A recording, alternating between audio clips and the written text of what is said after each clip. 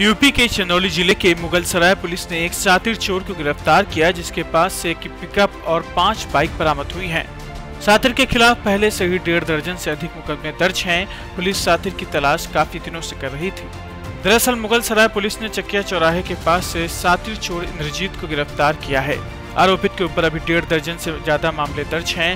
हालाँकि पुलिस के अनुसार अभी आरोपी के ऊपर दर्जनों अन्य मुकदमे भी दर्ज हैं, जिसकी जाँच की जा रही है आरोपी के पास से एक पिकअप के साथ पाँच बाइक बरामद हुई हैं। जिस कुमार को जब पकड़ा गया तो इससे पूछताछ की गई। इसने बताया कि साहब मेरे द्वारा चोरी की कई गाड़ियाँ जो है, बिहार में, मऊ में रखी गई हैं, अगर आप लोग चले तो जो है, इसको हम बरामद करा सकते हैं। इस तरह से ये लोग पूरी टीम लेकर के बिहार में गई। बिहार में कैमूर जनपद में वहाँ से गाड़ी बरामद हुई। फिर वहाँ से ये लोग जमानिया आए, गाज़ीपुर में वहाँ से बरामद हुई, फिर जौनपुर आए, फिर वहाँ से गाड़ी बरामद हुई। लेकिन अब चूँकि समय कम था हमारे पास, इसके नॉलेज में और भी गाड़ियाँ काफ़ी हैं जो इसने बता रखी है।